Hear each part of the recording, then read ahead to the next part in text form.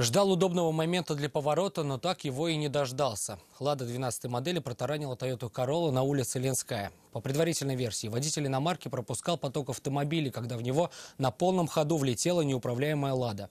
Алина Бережная узнала, что водитель последний видел, куда летит его автомобиль, но сделать уже ничего не мог. Получается то, что я не успел повернуть.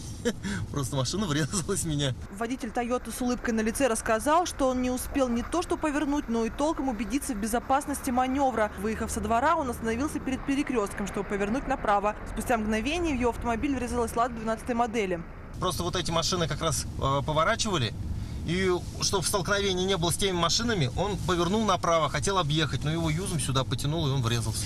В предварительной версии водитель отечественной легковушки двигался с Большой Крыловки в направлении улицы Линская. Подъезжая к светофору, он увидел автомобили, стоящие на поворот. Чтобы не столкнуться с ними, он вывернул руль вправо. Машину повело, и он снес одинокую Тойоту. А вы их не видели, что ли, то, что они стояли там или как? Видел, видел. А поздно среагировали, да? Да, просто уже не успел. Свою вину в произошедшем молодой человек признал в полном объеме. Алина Бережная, Ратназипов, Азат Самигулин, вызов 112.